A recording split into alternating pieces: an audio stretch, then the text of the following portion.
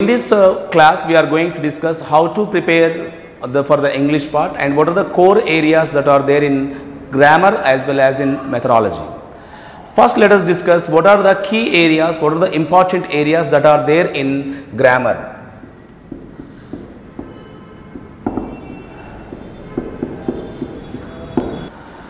So here we have grammar part and from grammar 24 questions will be given and these 24 questions carry 24 marks in the examination. The following are the key areas in this examination. The first important one in any examination the question will be asked on three topics. One is subject verb agreement. Subject verb agreement. Second one is uh, conditionals and the third one is the tenses okay so these are the three areas from which at least one or two questions will be given. If you compare any previous examinations at least one to two questions will be asked from these areas subject verb agreement conditionals and the tenses topic. The second core area the second important key area in this uh, grammar is the degrees of comparison. This is another important area where there is a chance of asking one question. If you look any previous question paper, at least one question was asked from the topic degrees of comparison. From the, this topic degrees of comparison, we need to know what is a degrees of comparison. We also need to know the different forms of adjectives. We also need to know the transformation of degrees into other degrees. For example, how to change a positive degree into comparative and also into the superlative. Apart from this, for this topic, we also need to learn correct use of comparisons or correct comparisons because many a time we compare okay incorrectly. That's why in this degrees of comparison, we need to know what is degrees of comparison, what are the different forms of adjectives, how to form, how to transform the degrees of comparison and correct comparison. If you are thorough with these four topics, you will get one mark in this topic. And another important area in this one is articles and prepositions. Articles and prepositions is another area where two questions will be asked from these two topics. It means one question from each topic. For example, if we take articles topic, okay, the questions will be asked on the usage of a and the Similarly, where to omit the articles, okay, that is also called omission of the articles or zero articles. If you are uh, well aware of these four, you will get one question in this preposition or articles. And here in prepositions also we have uh, four areas. One is the introduction to phonetic prepositions. The second area is uh, the different types of prepositions and the third one is correct use of comparisons, correct use of prepositions and also the fourth one is words followed by prepositions. Okay. These are the four areas that are there in articles and prepositions and uh, two questions will be asked from this area. And the next important one is uh, voice, okay, how to change the active voice into passive voice. One question is asked from this area and the fifth one is uh, the speech that is the direct and indirect speech. From direct and indirect speech one question will be asked in the examination and the other one is question tags. Question tags is another key area where there is a chance of asking one question. One question is asked from the topic called question tags and apart from there parts of speech is also another topic. Uh, generally, most of the students stop their preparation with parts of speech after identifying them. But remember, identification of the parts of speech is not enough. Apart from identifying the part of speech, we should also learn to know its correct usage. For example, if we take noun and pronoun, okay, if we take noun and pronoun, we should know what are nouns and pronouns, what are the different types of nouns and pronouns and how to use these nouns and pronouns appropriately. And from these areas in any examination one question is asked. And the another important area is the adjectives. Okay. In adjectives, we need to know the types of adjectives and also the correct use of adjectives. Okay, these are the essential things. What are adjective? What are different types of adjectives and how to use the adjectives appropriately. And the ninth one is adverbs. Okay, in adverbs also we are asked to identify the types and also how to use the adverbs correctly. That is the correct order of adverbs. Okay? So in this manner whenever we read the parts of speech okay don't confine just to identifying the parts of speech. Apart from identifying the parts of speech we should also be able to know the adjectives its types and adverbs its types. Okay? And the tenth one is the conjunctions okay? Conjunctions its types and the correct use of conjunctions. How to use the conjunctions correctly? Okay for example we need to know what is a conjunction what are the different types of conjunctions like coordinating conjunction correlative conjunctions and superlative conjunction. Apart from learning these three types we should also know how to use these conjunctions appropriately okay that is also very essential in the conjunctions part. And from this area one question is asked from that one. And the 11th one is phrases and clauses. Phrases and clauses is uh, another important one. Okay generally types of phrases and types of clauses are the core areas in the phrases and clauses where there is a chance of asking one question. Okay one question is given either from uh, phrases or from the clauses. Okay? The 12th topic that is there in our syllabus is the reading comprehension. Okay? Reading comprehension of a prose passage. In every examination one prose piece will be given and under the prose piece there will be asked five questions. Five questions will be asked from the prose lesson and we should be very careful while answering them. Because five questions if we practice well in advance to the examination scoring 5 marks in this reading comprehension section is not at all a difficult one okay so an aspirant who wants to get good marks in the reading comprehension should focus on practicing different comprehension passages from various competitive examinations like we have CTET examination, we have UGC NET examination or SET examinations. In those examinations, standard reading passages will be given. Okay. If we read those passages and practice those questions, that is enough for your examination. So, try to focus on the reading comprehension of the passages. And the other 13th one is vocabulary. So it is also a commonly faced problem by anyone. So three questions are expected from vocabulary. Okay, if you are thorough with vocabulary, you can answer three questions. The areas that are included in vocabulary are synonyms, antonyms, one word substitutions, phrasal verbs and idioms. These are the key areas, key areas in vocabulary where there is a chance of asking three questions. So mostly for vocabulary, try to read the unfamiliar words from the textbooks from 4th to 10th. If you are able to learn the unfamiliar words from class 4th to class 10th, most of the times the vocabulary will be covered from those textbooks only. So try to focus on these areas from the textbooks. And the 14th one we also have the composition like uh, letter writing, and we also have the précis writing. Letter writing and précis writing is another area in the examination where there is a chance of asking one question. In most of the times, a question is asked on letter writing and uh, a few, very few times, one or two times a question was asked on the précis writing. So, it is better to uh, read these two letter writing and précis writing perfectly because from this area also they will ask one question. And apart from that another important area is spelling. Okay spelling is another important area.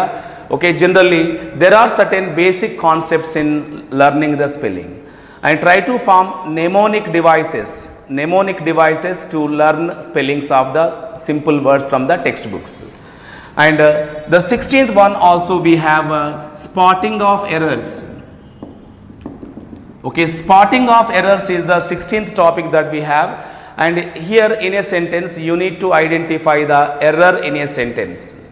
Generally, the errors include on subject verb agreement, conditionals, verb forms, or the correct usage of nouns and pronouns and the correct usage of adjectives and adverbs. Most of the times the error will be asked on the areas. If you have read all the concepts perfectly, then you can focus on spotting of errors. So, it should be read after completion of all the topics. So, that is the 16th topic. And uh, there are some other topics which we ignore most of the times, but the questions come from those areas. Those other important topics are For example, rearrangement of the sentences. Okay, though it is not given in syllabus. Okay, rearrangement of sentences is not given in the syllabus, but if you look at the previous TET question papers, one question is asked sometimes on this rearrangement of the sentences.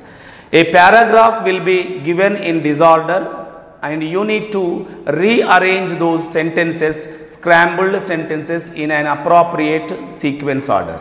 Okay. So, that is why though it is not given in the syllabus, we should focus on the rearrangement of the sentences.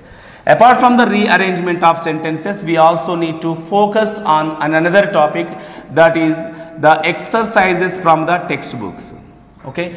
Every aspirant must uh, practice the grammar exercises which are given at the end of each unit from class 4 to class 10.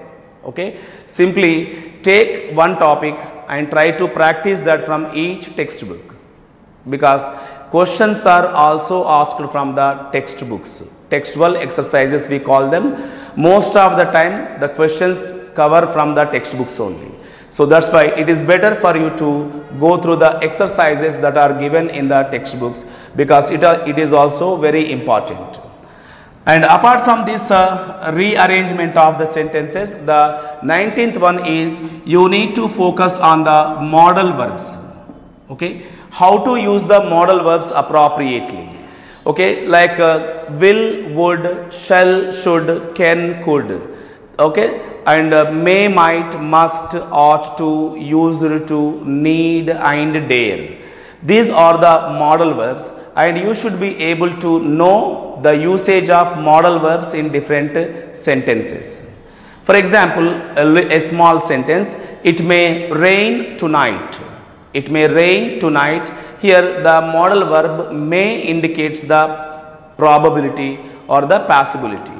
So in that manner you need to understand the function of each of the modal verbs. Each of the modal verbs okay should be studied in detail. Okay that is also very important. And the next one is the non-finite verbs.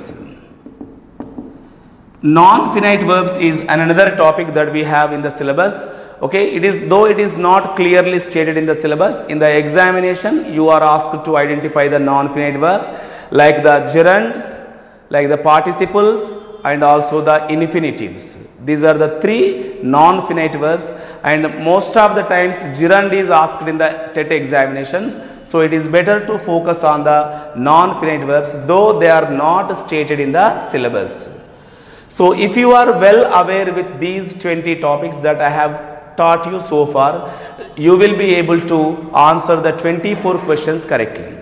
Okay. So, do not confine to only introduction or identification of the words. Okay. Try to focus on its correct usage. Correct usage is very important. And sometimes one or two questions may also be asked on the language functions. Okay. The English that we use in our day to day life is also tested in the form of one or two questions in the examination that is also very important okay?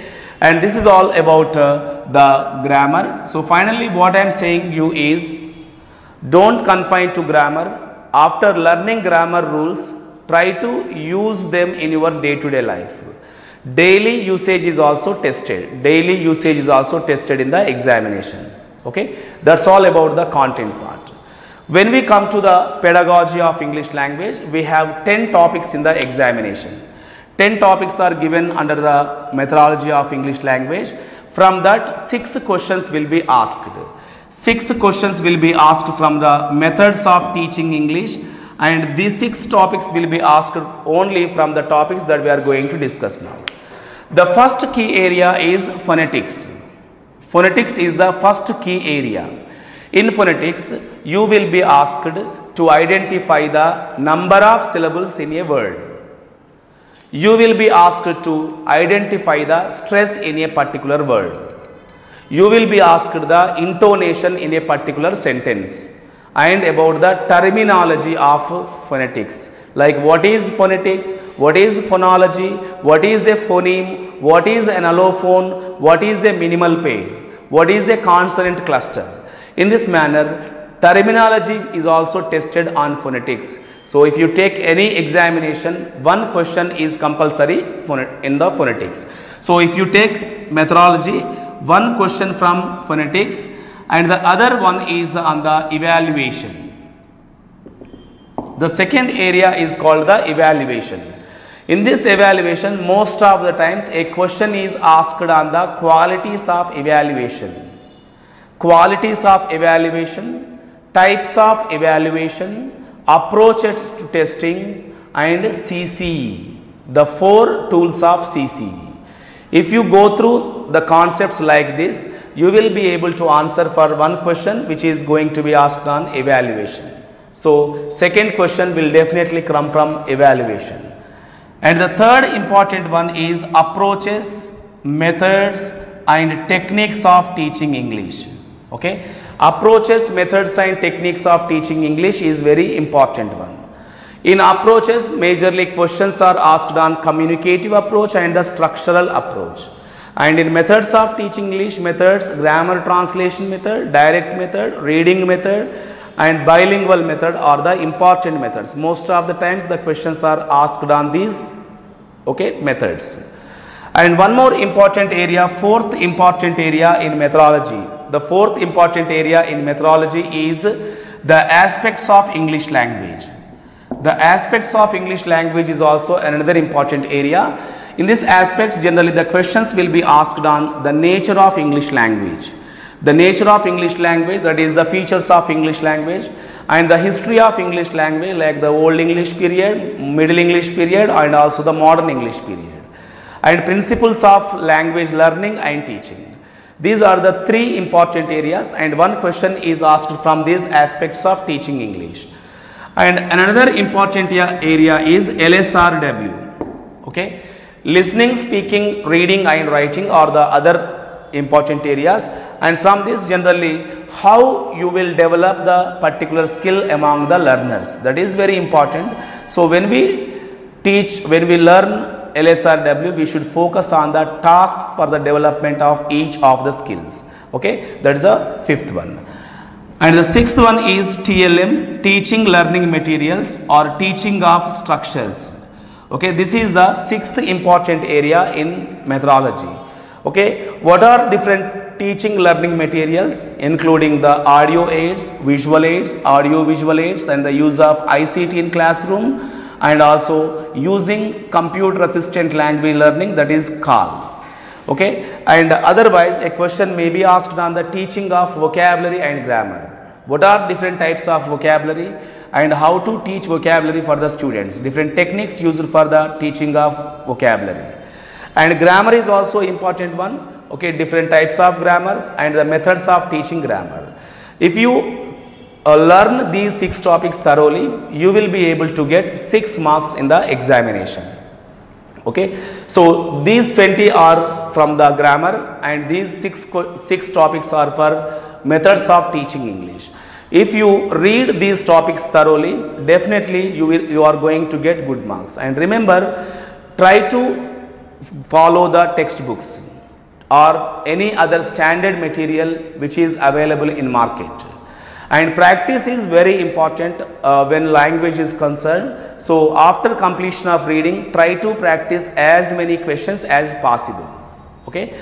So, that is the strategy of uh, preparing for English language regarding TET examination. I wish you all the best. Thank you.